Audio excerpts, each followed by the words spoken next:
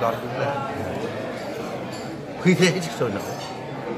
Và một tinh thần yêu nước như thế, chúng ta rất quan ngay và một cái tinh thần của một dân tộc yêu nước như vậy, chúng ta không lo gì mất nước. Thể hiện qua công việc này. Thế nhưng mà chúng ta phải tiếp thu, lắng nghe những điều cần thiết để điều chỉnh một cái luật đảm bảo đất nước phát triển, tạo môi trường đầu tư kinh doanh nhưng phát triển bền vững độc, đảm bảo độc lập chủ quyền tự do của đất nước.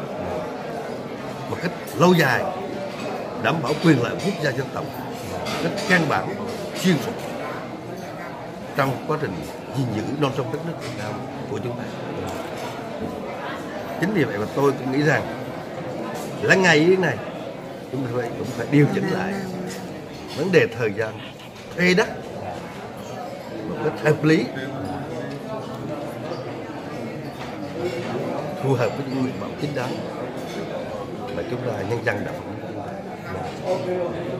và tôi cũng xin nói rằng, đây là đất thuê, chứ không phải đất và cái thuê đó theo quy trình nào? Hàng năm, ủy ban nhân dân, trình hội đồng nhân dân giá thuê đất. Chứ không phải là giao mình vĩnh viễn, như là nhượng tôi nhượng địa như là không có đó hoàn toàn khác nhau gần như khác nhau hoàn toàn. Nhiều người rất tiếc là hiểu lầm cái vấn đề này. Và cái cơ cấu nhà đầu tư phù hợp của từng quốc gia. Một cái tỷ lệ cần thiết trong vấn đề này. Chứ không phải chỉ một nước. Để an ninh quốc gia an ninh kinh tế đi liền với nhau trong cái xây dựng đặc khu lâu dài chúng ta. Để mọi người không có lo rằng là một nước một quốc gia nào đó đầu tư độc quyền trong vấn đề này nhưng tất nhiên đó, phải thiết kế cụ thể còn luật là cái khung để tạo ra một cái môi trường pháp lý cần thiết mà thôi. Tóm lại, chúng ta phải xem xét để mặc dù cái 99 năm kia là trường hợp đặc biệt. Ví dụ những cơ sở hạ tầng quan trọng mà phải đầu tư rất vốn rất lớn ở trên đất ý tưởng như thế.